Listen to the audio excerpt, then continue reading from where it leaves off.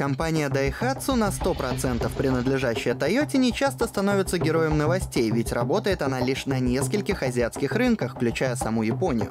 В Китае и России Daihatsu не продается, из Европы марка ушла в 2013 году, а короткую попытку закрепиться в США на рубеже 80-х-90-х можно даже не считать.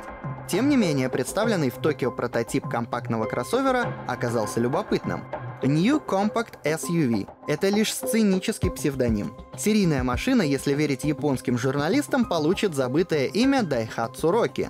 То был равный внедорожник с жестко подключаемым или постоянным полным приводом и понижающей передачей. Современный же Rocky — это классический паркетник с несущим кузовом и независимыми подвесками.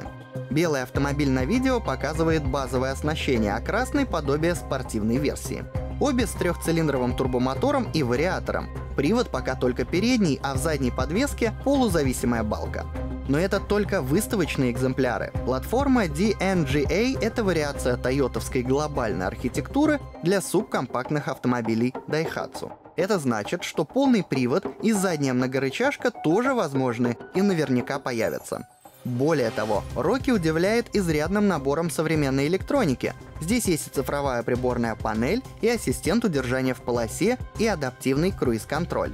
На японский рынок Daihatsu Rocky выйдет уже в ноябре. Но если верить японской прессе, то аналог под маркой Toyota не просто готовится, а может даже опередить Daihatsu. Близнеца нарекут Toyota Rise и отправят завоевывать Южную Америку, а потом и другие регионы.